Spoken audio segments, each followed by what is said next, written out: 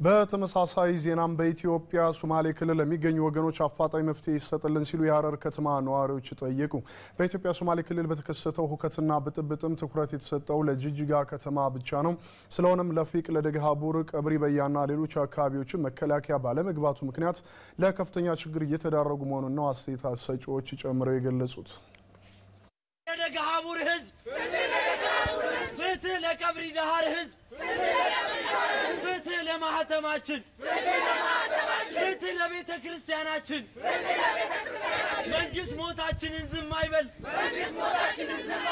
በሽላቦም በዋርዴርም በጎዴም በቀብሪ ዳርም እንዲሁም ደጋቡርም የግለሰብ መኪና እያስገቡ እያነደዱ ነው። በስልክ የሚቀረስኩት ድምፅ አለ እኔ እና እዛ ህጻናቶች ልጆች አሉ።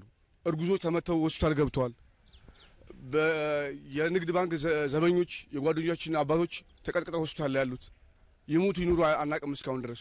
ግማሹ የሚጠብቀው ሚኒሻ ነው፣ ግማሹ የሚጠብቀው ልዩ ኃይል ነው፣ ግማሹ የሚጠብቀው የክልሉ ፖሊስ ነው።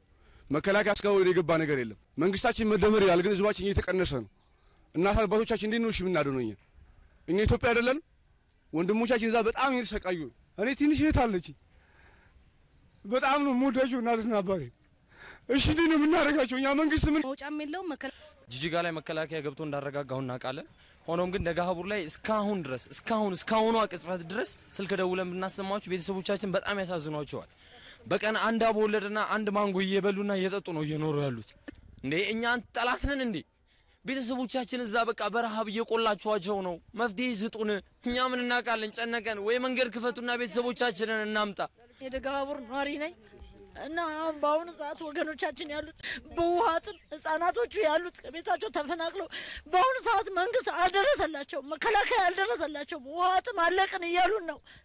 ንብረታችንን እሳተነዋል። ነፍሳቸው የሚመጣበትን መንግስት ያደርግልን። መውጫም የለውም። መከላከያ የሚባልም የለም። ይወራል እዚህ ስንሰማ ነው እንጂ መከላከያ ገባ መከላከያ የሚባል ነገር አላዩም። ይኸው በራብ እየተቆሉ ነው። ውሃ የለ ምን የለ የሚበሉት ነገር የለ። ራብ ተዘግተው ተቀምጠዋል። ስለዚህ አሁንም ለእነኚህ ሰዎች መፍትሄ ይኑራቸው። ምግብ አንድ ቀን ሁለት ቀን ሶስት ቀን እስከ ስንት ቀን ነው መቻል የሚችለው? እነዚህ ሰዎች ሜዳ ላይ እስከ ስንት ቀን ነው ማደር የሚችሉት?